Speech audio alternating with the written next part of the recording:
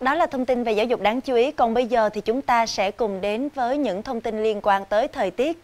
Thưa quý vị và các bạn, trong khoảng thời gian này thì nắng nóng lại tiếp tục bao trùm nhiều tỉnh thành. Ngày 26 tháng 6, chỉ số tia cực tím cực đại tại hầu hết các tỉnh thành phố trên cả nước đều nằm ở mức nguy hại rất cao. Đáng nói là từ ngày 27 cho tới ngày 29 tháng 6 thì tình trạng này sẽ còn tiếp tục tái diễn. Vì vậy người dân cần chú ý hết sức để có thể bảo vệ sức khỏe của bản thân.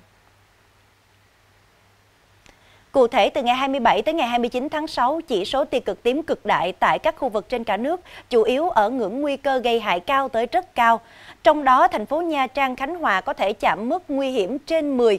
Với chỉ số này thì tia UV đã vượt ngưỡng an toàn rất nhiều lần, bởi theo khuyến cáo của ngành y tế, chỉ số tia UV ở mức an toàn là phải dưới 3, còn trên ngưỡng 3 thì sẽ gây ra rất nhiều tác hại đối với sức khỏe.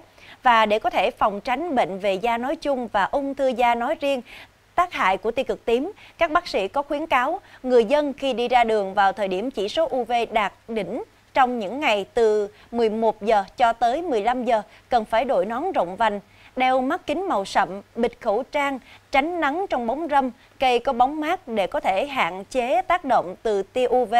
Và thưa quý vị, khi nói về thang đo tia UV thì chúng ta có thể theo dõi tại Trung tâm Dự báo Khí tượng Thủy văn Quốc gia thì có thang là thể hiện từ 0 cho tới 11 và hiện nay thì chúng ta đã đạt ngưỡng 10 rồi. Như vậy là quý vị sẽ phải lưu ý thêm một số những thông tin như thế này ạ. À.